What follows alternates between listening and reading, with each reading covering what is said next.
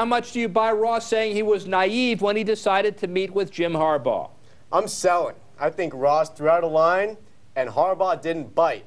Look, Ross saw the same thing that we all saw.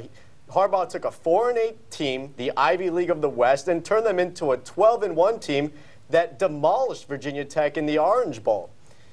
Afterwards, he was spurned when he went out to the West Coast, and he tried to save face by saying that he didn't realize it would be national news. Really, Ross?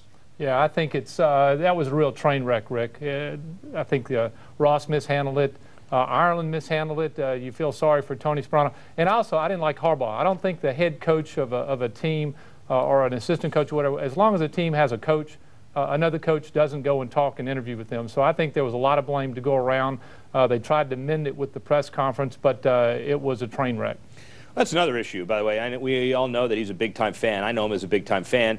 Maybe a little naive in that instance. We'll have to see. And by the way, you know, the world is littered with the Nick Sabans and Spurriers and those guys who didn't make it when they transferred. So that's the other issue we've got to deal with.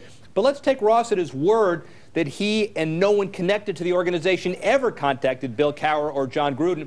Is that a mistake as well, after all the teams coming off back-to-back -back losing seasons, guys? Rick, I think the key is you said no one connected with the organization made contact with Cowher. I think they did reach out uh, and engage his interest in whether he wanted to come to Miami. Uh, if that's not the case, if they didn't, then yeah, I think that's a big mistake because here Bill Cowher is. He's a Super Bowl winning coach, uh, a, a, great, he's got a proven track record. So uh, I think they did reach out and talk with him. It just wasn't anybody connected with the organization. Yeah, I agree. Big mistake if they didn't reach out. You just look at the two coaches' resumes. Cowher, 15 seasons in the NFL, eight division titles, two trips to the Super Bowl, and one in which he won.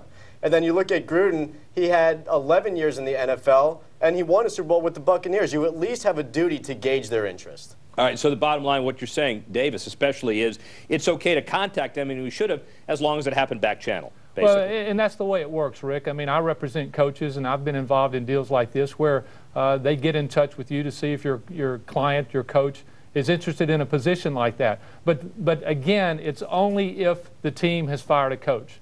Tony Sparano was the coach, and, I, and again, I think that it was inappropriate for the Dolphins to be out there trying to fill a position when they still had a coach in place. All right, guys, so how about this one? How difficult will it be for Sparano, Ross, and Ireland uh, to move forward together?